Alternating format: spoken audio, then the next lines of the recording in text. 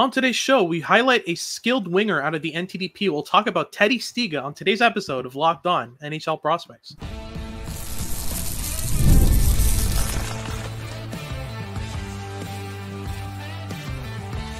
You are Locked On NHL Prospects, part of the Locked On Podcast Network.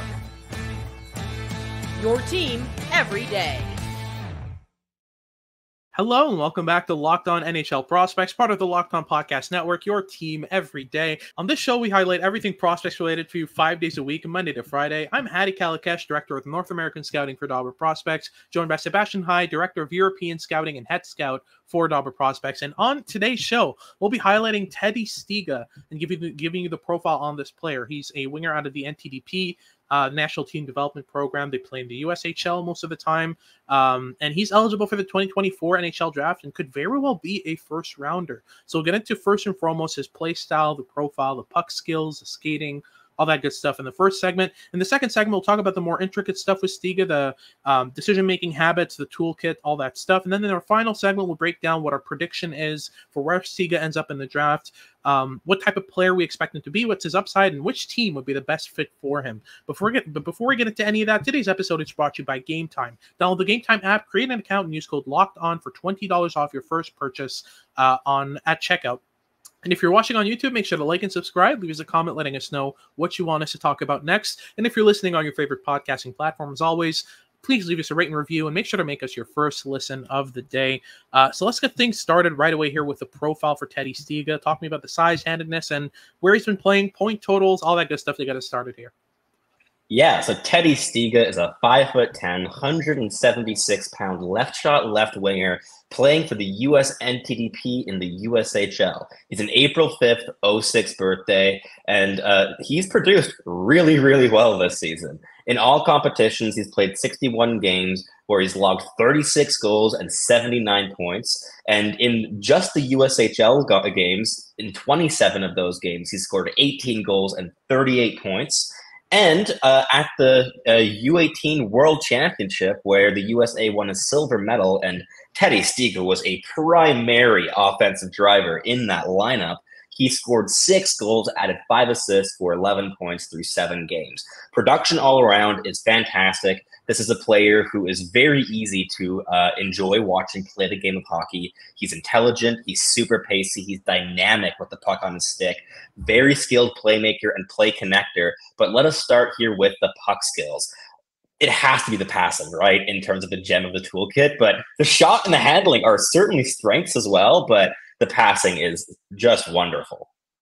Absolutely, the passing is just next level. Um, what makes Stiga what makes Stiga such a good passer is his ability to kind of diversify his passing and use the right pass at the right moment, the right weight in order to connect with his teammates. Uh, this is something we talk about a lot on this podcast. It's a super important thing when we're eval- evaluating prospects. It's not just you know being able to make a saucer pass or a backhand pass or a slip pass or a hook pass. It's using the right pass at the right moment with the right weight and the right timing.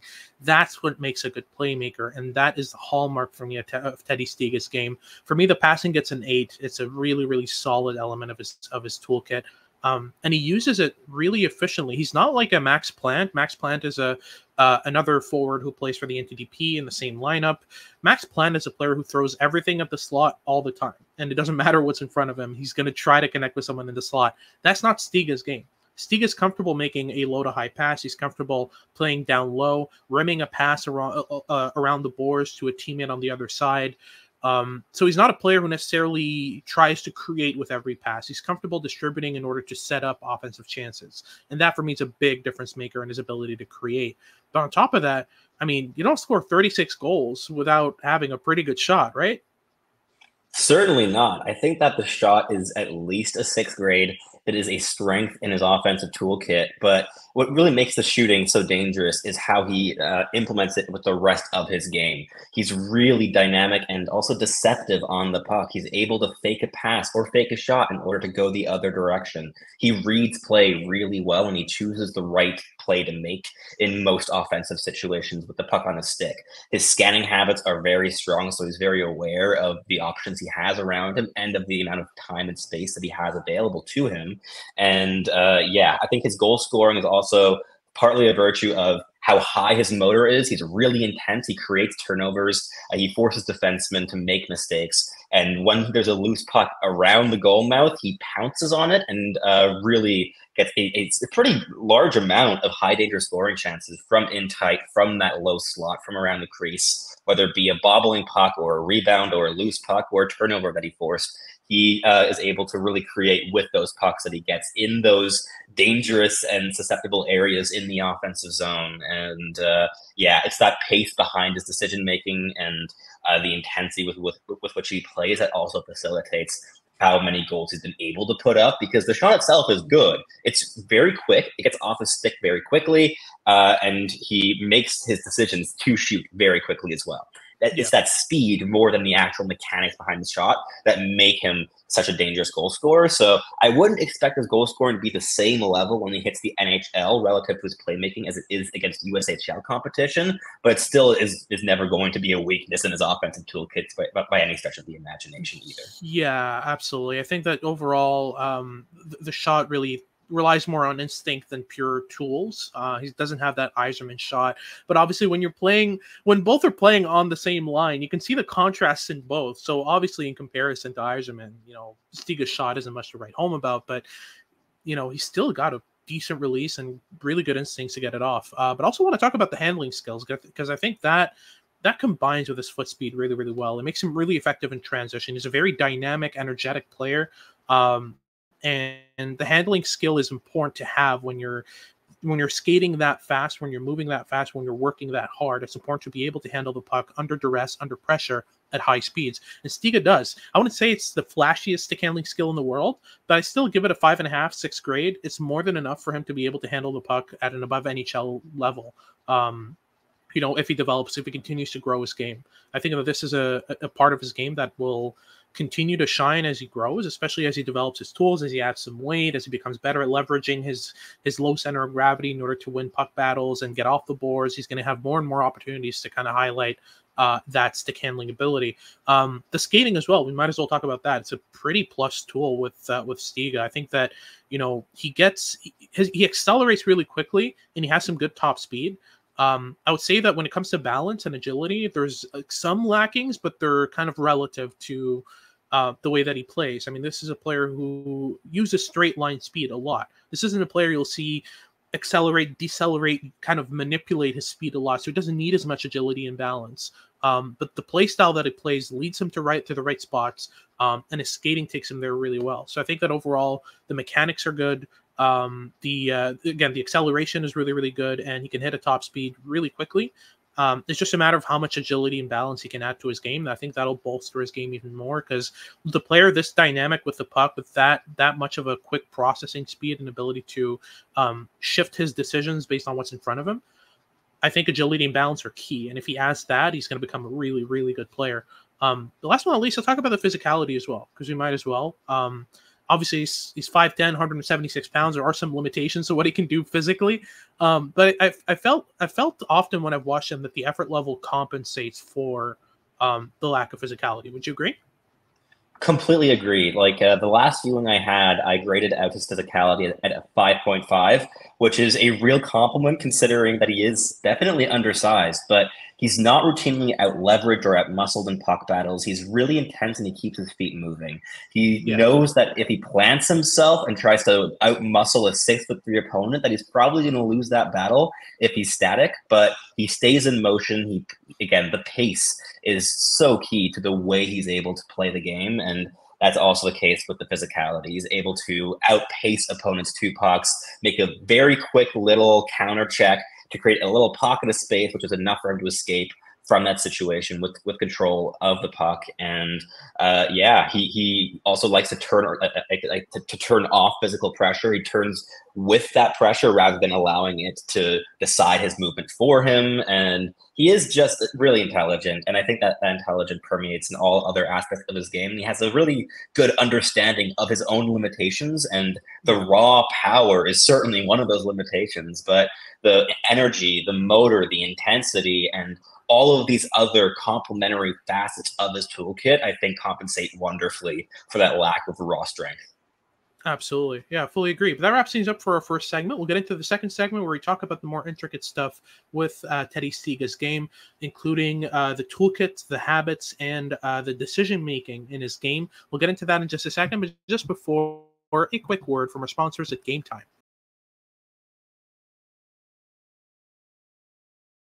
If you're looking to buy cheap tickets last minute to any event, Game Time is the best place to secure them. Game Time is an app that allows you to, to get tickets up until the last minute before the event starts, and sometimes an hour after it starts. You can still get tickets over at Game Time. They are obsessed with saving you money, whether that's uh, flash deals, zone deals, you name it. They've got a bunch of deals to make sure you save money. Uh, they've also got last call and last minute deals, which make sure that um, you, you can get up to 60% off by buying last minute tickets for anything really. It's not just sports. It's not just games. It's you know concerts, it's comedy, theater, you name it. They've got it for you. Um, flash deals are also really interesting. You get uh, deals that last about an hour. Um, so you can it, it, and make sure that you can tune in cons- constantly and see different prices on your end as well. And the game time lowest price guarantees make sure that you get uh, the best price for your tickets. If you find a ticket in the same section and row for less than what game time has to offer you, game time will credit you 110% of the difference. So take the guesswork out of buying tickets with game time. Download the game time app, create an account, and use code locked on NHL for $20 off your first purchase. Terms apply, but again, super easy. You just create an account and redeem the code L O C K O D O N N H L for $20 off. So download game time today. Last minute tickets, lowest price, guaranteed. Alrighty, so moving on to our second segment, we'll talk about the toolkit, the habits, and the decision making with uh, Stiga. And I think there's a lot to talk about here. As I mentioned before, there's if there is a kind of disconnect between Stiga's ability to separate laterally versus forward. So he has good acceleration to get off of puck battles, um, to get away from an opponent um, in, in kind of short bursts. But I feel like when it comes to moving laterally uh, at top speeds, there is some limitation, and that actually I think limits his dynamism a bit, which is so interesting because he is still dynamic despite that. So my question to you is, how far do you think his dynamism can go if he kind of unlocks that added agility and balance? Top line. I mean, I, I think that the upside is high, right? Like if he's yeah. able to to add those elements to to further amplify his dynamic skill, the sky's the limit with this player. I think he has the intent, the, the, intelligence, he has the intensity, he has a lot of the off puck habits, whether it be scanning or even defensively. Like he he he reads defensive play pretty well. He understands how to support his defenseman, play into a role in a very tight defensive system when he needs to. And uh, beyond that, on puck, like he's he's just so creative, and he yeah. fully trusts his playmaking skill. He knows that he's a capable goal scorer as well, and those are both real strengths. And the handling ability works in wonderfully with it. And I agree. I think that if the if that lateral mobility can match the level of his forward mobility, you're looking at a player that that has that, that, that really lengthens the road that he has in terms of how much more dynamic he can become in tight spaces against NHL competition. That is a key, key area of that if you want to retain that level of dynamism while also still accessing the middle of the ice rather than being pushed to the perimeter. Um, so I, I, think that, that could lead him as high as a complementary first line role. I think he has this upside uh, if he's able to, to work on some patches of his game because he has almost everything you could want in a dynamic winger. Uh, and and he's also progressed significantly this year. Like he's added so much uh, in terms of interesting tools and habits into his game that were not there at the beginning of the season. So uh, I, I, wouldn't be shocked if he were able to, to integrate such such types of, of additions into his skating ability and his overall dy- dynamic output.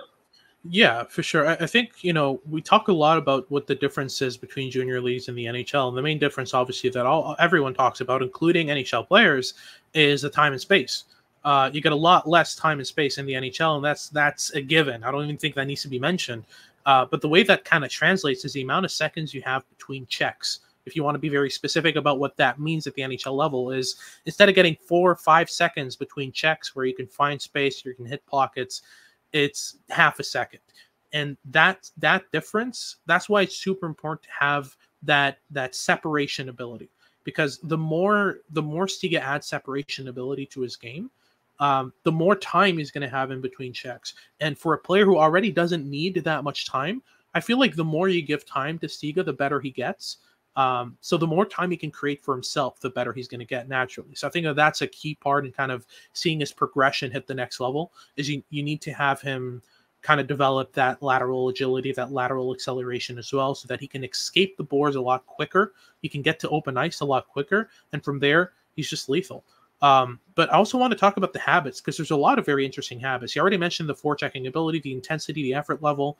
Um, it's not just a, a matter. Of, I, I, don't think that has to do with decision making. That's just a natural habits that are instilled in Stiga, the way that he approaches the off puck game, and I think that that's very clear when you watch him. And um, our USHL scout David David uh, David Sod has been a big fan of Stiga all year. He said he's his. He said that Stiga is his favorite player to watch this year, and I think I'd agree. Out of the NTDP, um, he's my he's the player I've had the less. Me too. Uh, uh, yeah, he's he's the player I've had the fewest hair pulling moments watching. Um, because he's a player who works hard, who puts in second efforts, who makes life easy for his teammates. He gets the puck. You're not too worried as you are, for example, with a Cole Eiserman or Cole Hutson. You know it's going to end up in a better spot, uh, and and that makes him really really good. And I think that's a matter of scanning. Um, and scanning's a habit. Scanning's a very very good habit to have as a consistent element of his game. But it's one thing to scan; it's another thing to spot things. You know, some players are good at spotting things, are good playmakers, but they don't scan. Some players scan a lot but don't see much I think with Stiga it's a bit of both, and that's what makes him such a good playmaker as well. Is he's constantly he's got he's constantly got his head on a swivel, but he also sees options, right? Like this is a player who who sees the ice really well, on top of having the the instinct to look around him and check for options, right? Frequent scanning habits, high end vision, high end processing speed. That is a delicious combination to have, especially in combination with all of those tools that he has, the puck skills and uh, the forechecking and the intensity, right? Like this is a a really well-rounded offensive player whose defensive output could still increase and, and improve with time as well, uh, with how he approaches the game. But yeah, I think I think you hit the nail on the head there with, with your analyses, and it's also really clear why we love this player. There's there's nothing to really dislike here, and there's so many things to to enjoy and to and to relish watching and scouting uh, with this player. It goes beyond just him not making mistakes you pull your hair out.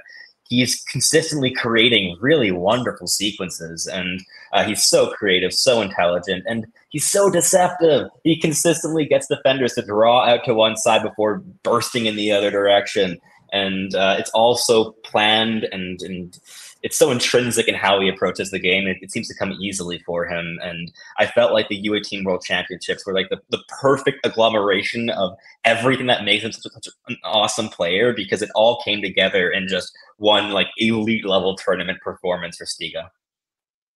Absolutely. I think the, the really interesting part about what Stiga brings to the game is that deception, but it's also an area of concern for me because he relies, I think, too much on deception um, what ends up happening at the NHL level is you get really, really smart defenders. Unless you know you're you're you're playing bottom six minutes against bottom bottom pair defensemen. Most of the time, defensemen don't bite as hard as they do in the USHL. Uh, so that's one thing you'll have to adapt to is either getting deceptive enough that it doesn't matter what what he faces, or learning when to blend in deception. Because I feel like everything that Stiga does has some deceptive some deception blended into it, and sometimes once you get to the NHL, defensemen are going to read you. They're going to watch tape of you. They're going to know that they're they're not supposed to go where you're looking. They're supposed to go the opposite side um, when when they come up against you. So as he climbs the ranks, as he potentially gets into a middle six and starts working his way up a lineup, you're going to see Stiga kind of hit a wall at some point uh, if if he continues to just purely rely on deception uh, because again, NHL defensemen are very, very smart. They're they're they know what they're doing. So when it comes to that, I, am curious to see how that ends up for him. But from what you know, all the really good deceivers in the NHL, the Patrick Kanes, the um, you know, the players of that mold who are really good at consistently fooling opponents into going the wrong way they're also able to just hit the option in front of them and not not deceive that was that's what makes them so deceptive is you you don't even know if they're going to deceive or not i'm still waiting to see that from stiga uh, and that's a decision making thing uh, that's the one thing in terms of decisions that I think that Stiga really needs to work on. That and potentially kind of drawing players in for an extra second before dishing the puck, because sometimes he he goes for the deception early, um, and that that actually can put him in trouble at times. I think that he gets away with it right now in the USHL with such a good team, the NTDP. But as he climbs the ranks, it's going to get, get a bit tougher. Uh, but that's our second segment done. We'll get into our third, where we talk about the upside with Stiga, where we see him realistically ending up in an NHL lineup, where he ends up at the draft, and which team would be the best fit for him. We'll get into that in just a second. But just before, uh, we'll hear from our sponsors Indeed. There is no I in team, but there is one in Indeed, and that's why it's the hiring platform that you need to build your uh, team. When you're hiring, you need Indeed. is quite simple and easy. It is the hiring platform where you can attract, interview, and hire all in one place, which makes the process super he- easy if you're looking to hire some new talent. Uh, and instead of spending hours on multiple job sites looking for different candidates with the right skills, Indeed's powerful, powerful hiring platform can help you do it all in one spot. We um, Indeed streamlines hiring with powerful tools that help you find match candidates. Um, these are candidates that they've already sifted through to make sure that they have the right type of pool uh, of, of tools in order to help you uh, in your team. And as uh, someone who's got his uh, his day job through Indeed, I found Indeed super easy to use. There's no surprises. You can know you know exactly what the employer's looking in terms of talent, what skills they need you to have, and that helps you find the right job for you, a job that matches your needs uh, and you're not surprised once you get there with you know what they're asking from you. Uh, so Indeed does the hard work for you and make sure that um, the candidates that you get are uh, fit your description immediately after you post so that you can hire faster. Uh, so start hiring now with a $75 sponsored job credit to upgrade your job post at Indeed.com/slash locked on. Uh, this offer is only good for a limited time, so make sure to check it out soon. It's a $75 credit at Indeed.com/slash locked on. Terms and conditions apply, but if you need to hire, you need Indeed. Alrighty, so let's close things off here with our final segment where we break down the upside, the projection, and which team would be the best fit uh, for Teddy Stiga. We already alluded to it early in the second segment. Uh, I think we can both agree there is fringe top line upside with Teddy Stiga. It's a player that could get there with the right development, with the right tools added. Um, but realistically speaking, where do you think Stiga ends up in an NHL lineup? I'm optimistic about this player. I have him ranked 20th overall at the moment, um, which is, I think, higher than he is on most boards. But uh, I, I, I, see really high end second line upside here. If we're, if we're talking within like the realm of likely possibility, I see him as an offensive driver on a second line who can do a little bit of everything, can chip in on both special teams units, uh, likely a second uh, penalty kill if we're being optimistic rather than a first. Uh, but on the power play, could even be a first a first um, like group guy uh, because he is just so capable with the puck on his stick, and he does connect play as much as he creates high danger scoring chances, which is a really important combination of skills to have on an NHL top power play unit. But yeah, I, I see I see real second uh, line upside here. But what I like so much about Stiga as well is that he has like a relatively high floor because he is so engaged. He is so intelligent. He has the puck skills, sure, but they're they're far from everything in his impact and in his game. Like he yeah. could be a bottom six, you not checking winger, but like an offensive driver in a bottom six who can check and is a good forechecker specifically um, and and could round out his physical profile a little bit, sure. But I think that that he could play up and down a lineup. Uh, even if he ends up on a third line, if injuries arise, he's one of the first players you can look to to fill in gaps inside the top six because he is so adaptable and he does complement high end players really, really well. He knows how to fit himself in uh, to make them better, to make himself as, as good as he possibly can be. So he's the type of player that, that many teams want to have especially going in on long, deep playoff runs where you're often being starved for offense and you want to shake something up to create something a little bit more if you're not scoring goals. Inserting Teddy Stiga into your top six when you have on a third line is a really nice option to have in your back pocket. You know who he reminds me of? Nikolai Ehlers that's kind of the upside. I, I love Ehlers. Yeah, I love Nikolai Ehlers. I, am so on board with that because I, am definitely of the mind that Ehlers is uh, perpetually underrated and deserves first line minutes somewhere, at least a chance yeah. to see what he can do with it. But yes, I see I see the links. But talk me through that, that comparison a little bit because I, I am fully on board. Yeah, absolutely. We're talking about a speedy transitional ace who has good playmaking, an underrated shot, and can either complement some high end players or drive a line himself really well, depending on where he is in the lineup. probably going to end up kind of perpetually in a middle six while deserving more minutes. Um, just there are a lot of similes here, um, and I think even the stick handling skill. Obviously, Ehlers is a better skater and a better stick handler as as he stands than Teddy Stiga is. Yes, but the profiles are very similar. I think that there's there's there's very there's a lot of similarities when it comes to where they could end up in an NHL lineup. Obviously, we're talking about upside here in terms of Ehlers. I think the the lower end of Stiga's upside is probably well, Jack Roslovic, something in that range, something of that style. Um, there, there's a range of outcomes with Stiga, but, but I think that all roads lead to the NHL with Stiga. I don't really see many scenarios in which Stiga doesn't succeed to add the things you want to see from him. Um, you know, maybe ends up in a Nils Hoglander situation where he's working yeah. hard, he's doing a lot, but ends up kind of not being in favor most nights. Uh, but still, I think that we're going to see Stiga at the NHL level. I'd be extremely surprised if we don't. Um, but I also want to talk about kind of the realistic projection of where he ends up on draft day. Where do you think he gets drafted? I mean, Nick Ehlers is drafted in the top 10, I believe, uh, in his draft year. Um, we're not talking about that here with Stiga. We both have him ranked in the 20s. There are rankings that have him ranked as low as 50. So where do you think realistically ends up on draft day? I would say realistically anywhere between 22 where the Nashville Predators are drafting and like 40 I, I do think he will go top 40 like i i, yeah. I, I, definitely think that, that you're going to see a team uh, with a lower draft spot or, or, like that are drafting high up in the first round getting their second round pick still having stiga on the board uh, and, and really lunging for that. But if we're talking within the first round i'd be looking at we bring this team's name up a lot, uh, especially in regards to prospects that we like a lot. But the Carolina Hurricanes are up that alley in terms of what they yeah. value and the play style they play at the NHL level. Stiga would fit in brilliantly, and they pick at 27th. That would be an option.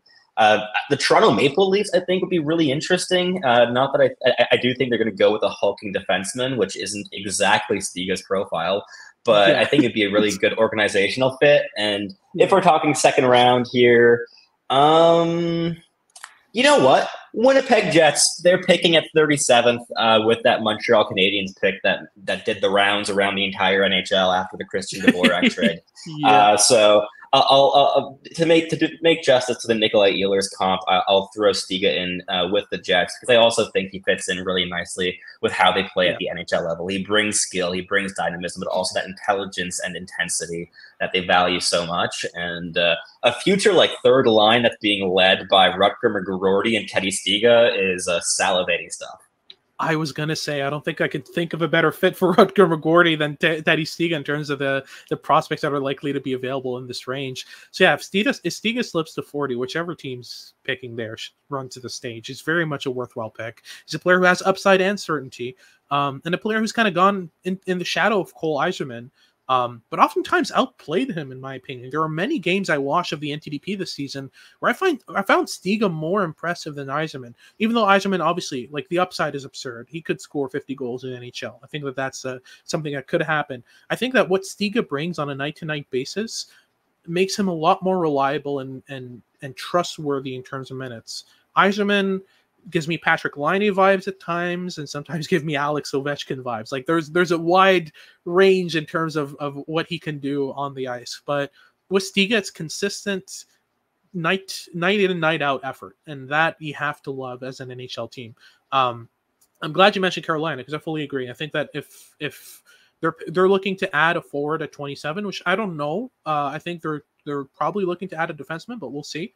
Uh, but if they go forward, I think Stiga is going to be at least near the top of their list, and he'd be a great pickup for them. Uh, but that's our episode done for Teddy Stiga. Thank you very much for tuning in. If you're watching on YouTube, make sure to like and subscribe. Let us know what you thought of the episode down below in the comments, and um, make sure to, to, to leave us a um, a comment as well, letting us know what you want us to talk about next, which kind of subjects you want us to follow in. We've got a set plan heading into the draft. We're both going to the NHL draft, It's going to be fun. Um, and also, if you're listening on your favorite podcasting platform, please leave us a rate and review, and make sure to make us your first listen of the day. For your second listen of the day, please check out Locked On Sports today. They've got all your news and updates about what's going on around sports on YouTube's first 24 7 sports channel. Uh, and make sure to tune in for our next shows and to continue our, sp- our prospects coverage and ramp things up heading into the NHL draft. This has been Hadi Kalakeche with Sebastian High, and we hope you tune in next time.